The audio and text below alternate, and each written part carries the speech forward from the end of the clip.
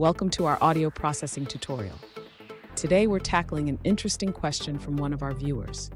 They want to know how to interleave two NumPy 1D arrays to create a stereo audio output. Let's break it down together.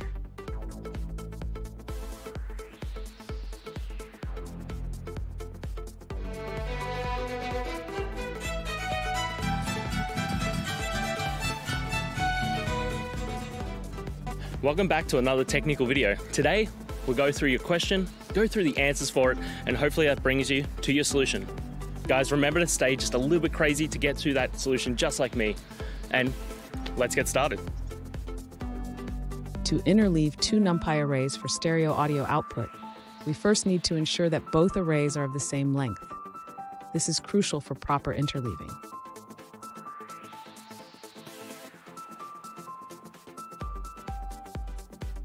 Next, we will use NumPy's functionality to interleave the two arrays. This means we will take one sample from the first array, followed by one sample from the second array, and repeat this process.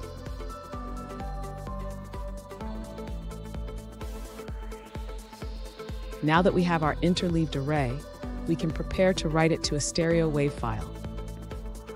We need to specify the sampling rate and the name of the output file.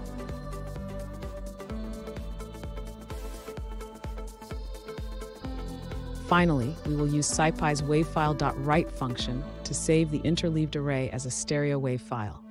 This function requires the file name, sampling rate, and the interleaved samples.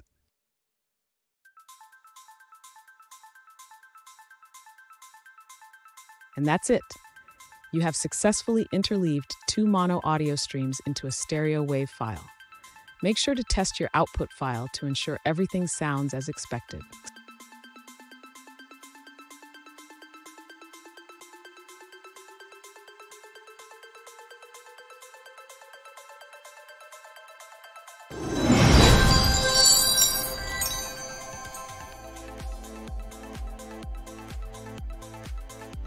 Let's now look at a user-suggested answer.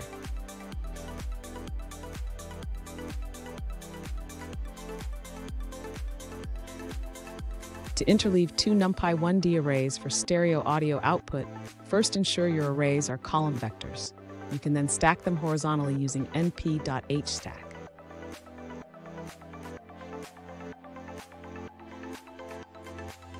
Alternatively, if your arrays are already 1D, you can stack them vertically and then transpose the result.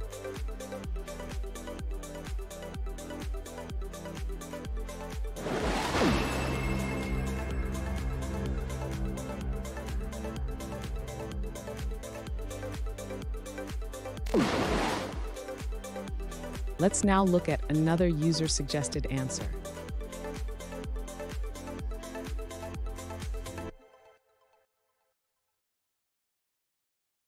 To interleave two NumPy 1D arrays for stereo audio output, you can use NumPy's dstack function.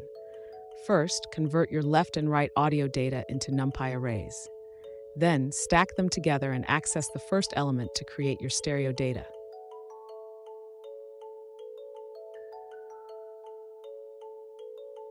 Finally, save your interleaved stereo data using SciPy's wavfile.write function.